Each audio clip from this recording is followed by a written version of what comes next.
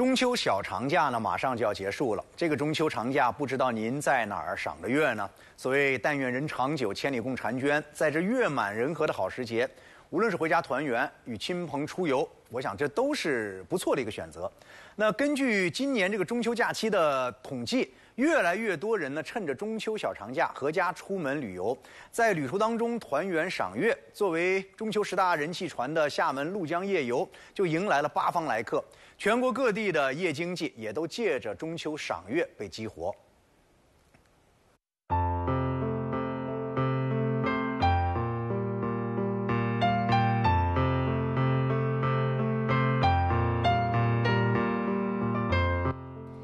上生明月，天涯共此时。中秋夜晚上八点多，一轮明净的圆月挂在夜空，鹭江两岸华灯映照，鹭江道一侧车水马龙，而另一侧的鼓浪屿显得静谧闲适。在一艘仿古游船上，市民游客纷纷拿出手机和迷人的厦门夜色一起合影留念，记录下这美丽的瞬间。在中秋之夜，然后通过这样的方式赏月，觉得这个体验怎么样？非常美，非常棒。月亮很圆。感觉怎么样？太棒了，很美，厦门太美了。在厦门过中秋，怎么能少了薄饼？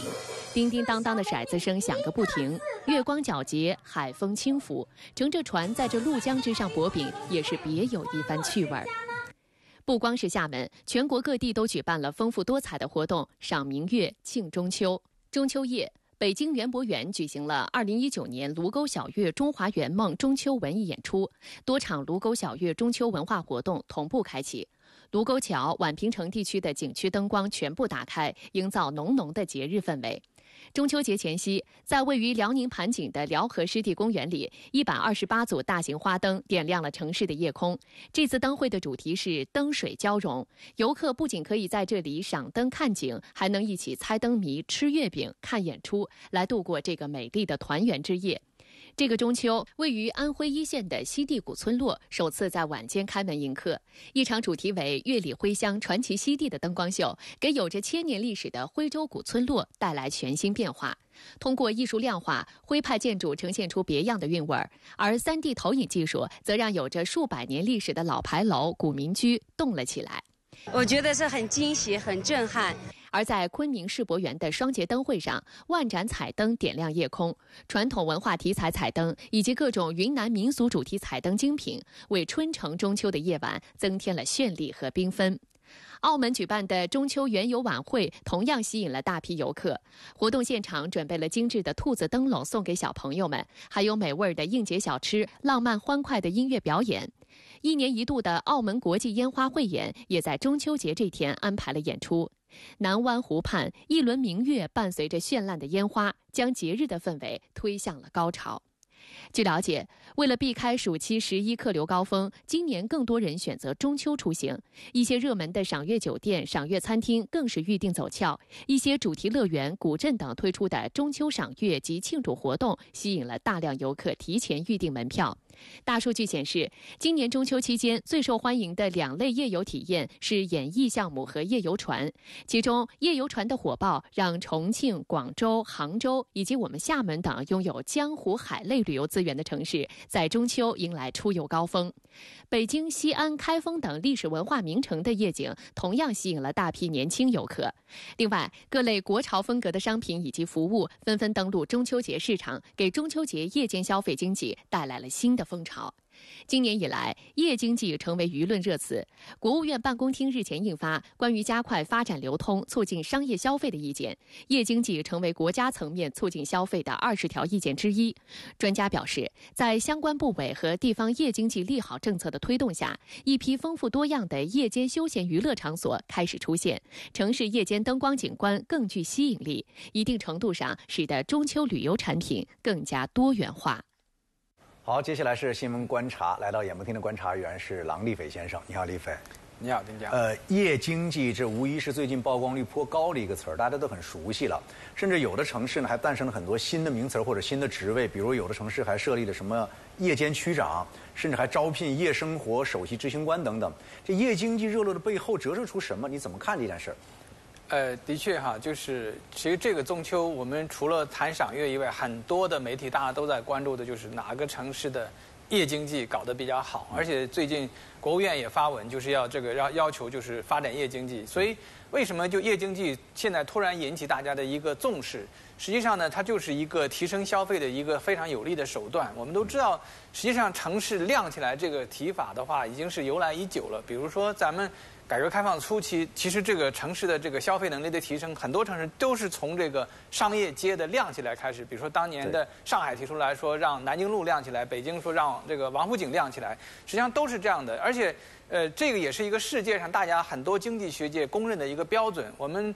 呃，可能大家都知道，这个现在有一个叫做卫星的灯光图，就是这个经济学家经常分析这个图。这个图最早出现就是一九七六年的时候，那个时候的气象卫星装了一个新的传感器。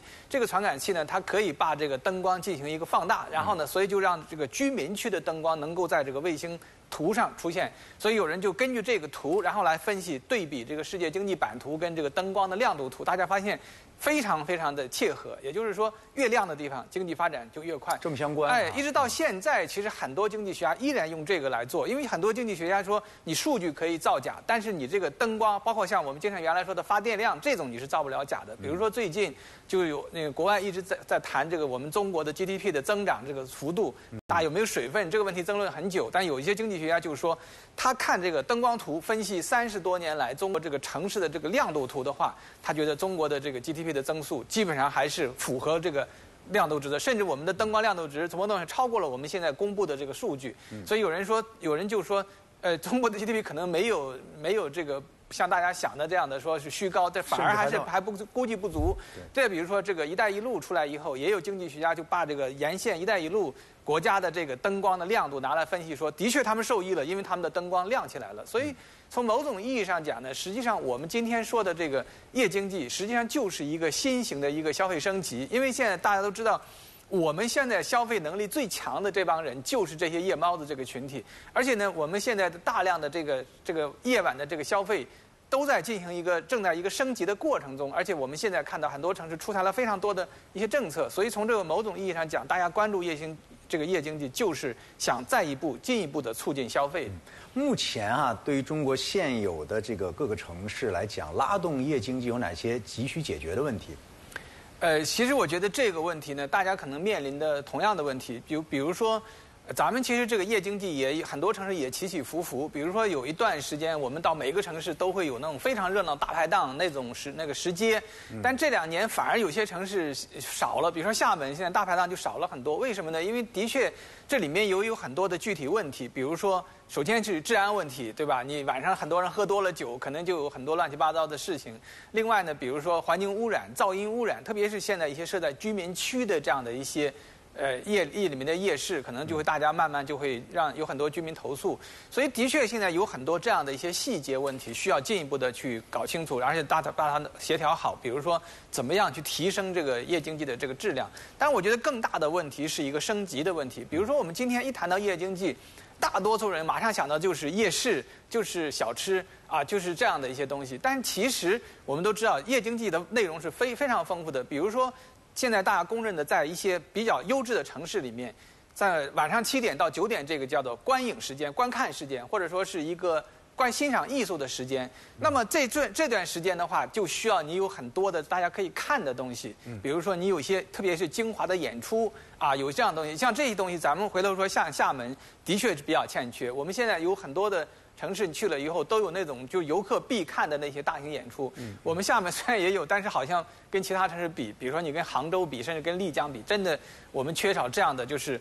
有非常有号召力的这样的大视觉盛宴，对，哪怕你跟武夷山的那个比，你看都有。所以我觉得像这些方面，恰恰是我们要提升的地方。当然还有一些，呃，因为现在的夜经济它丰富多彩以后，它需要的有的不一定是大众世俗，可能有很多是小众，比如说各种的酒吧啊，比如说精皮的那种吧，比如说是那种各种各样的那种细节的东西，包括一些甚至一些学习的地方、动手的地方。所以这些地方，我觉得都可以让我们的城市有很大的这样的一个夜经济的提升空间。好，谢谢丽斐的观察和点评。